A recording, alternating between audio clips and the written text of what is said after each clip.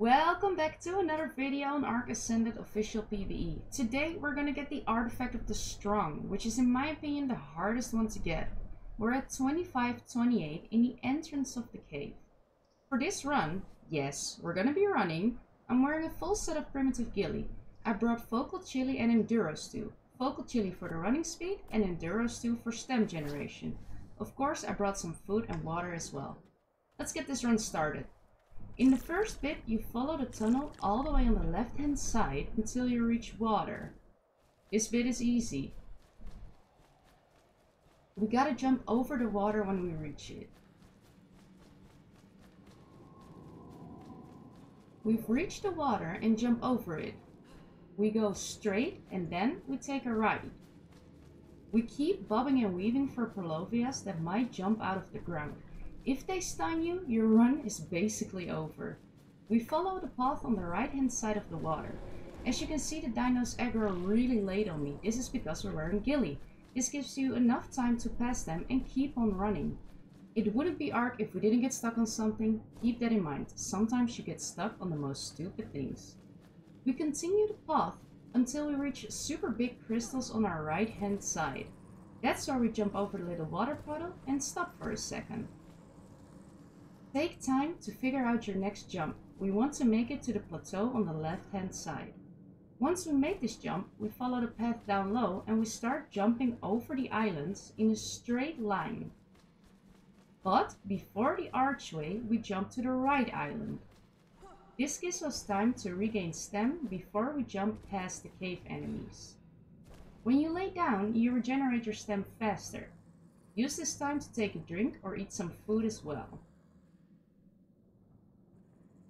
As soon as we get our stem back, we keep jumping the islands past the cave enemies, all the way till the big crystals on our right hand side.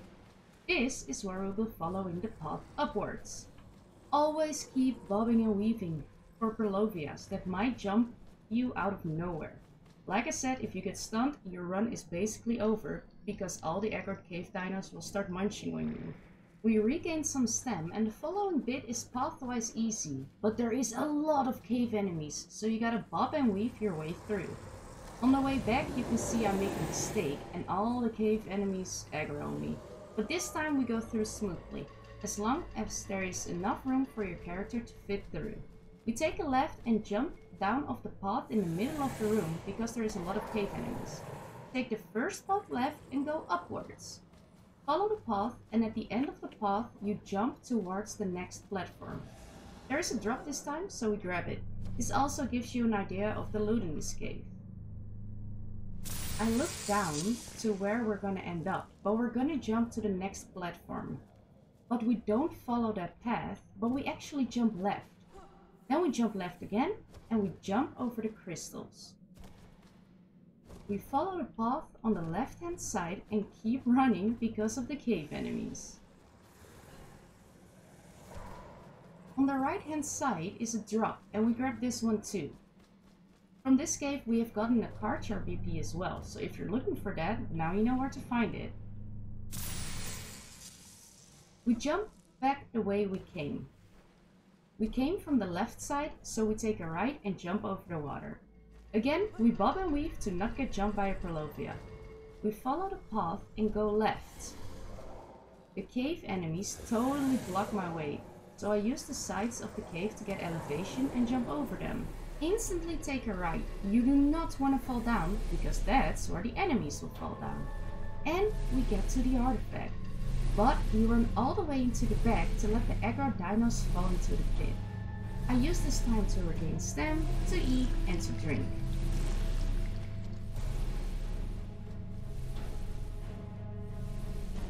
And there we go. Artifact of the Strong is in our inventory. Now, the way back. We follow the same path down low and we take a left. We bob and weave through the enemies. At the end of this path, there is sometimes a drop in the water.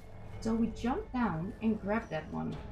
This is almost safe to grab at all times, because the creatures that follow you into the water will stay at the surface. So we grab the drop and we keep swimming the other way. While swimming, I want to share my Twitch with you. I stream multiple days per week, so if you're interested in streams, check out my Twitch channel, Gingarella with 3 A's at the end. The link will be in the description. When we get out of the water on the left hand side, we regenerate our stem and we jump over the water to bob and weave through some more enemies. After the next water jump, we take a right and follow the path upwards. We follow this path on the right hand side to avoid the enemies all the way to the crystals. We jump over these crystals and we take a left while following the path to the right. In this bigger room we go straight and we take a right when we can't go straight anymore. From here on out we keep going straight while bobbing and weaving. At this point we want to jump the ridge to get on the little higher path. There's a lot of enemies on our right, so we do this carefully. We then follow this path upwards and take a right when we can.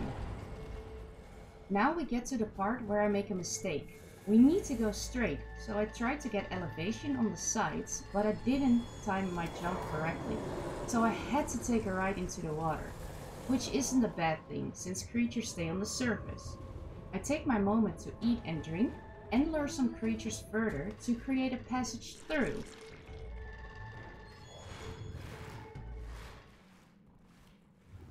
As soon as I spot my moment, I take it and bob and weave through the creatures again. Oh, we made it. Keep following this path on the left hand side until you're in a big room again. This is where we will be jumping the islands again. We jump on the first island and then we jump right to follow the path upwards. We follow this path all the way till another water stream and we jump over this water stream.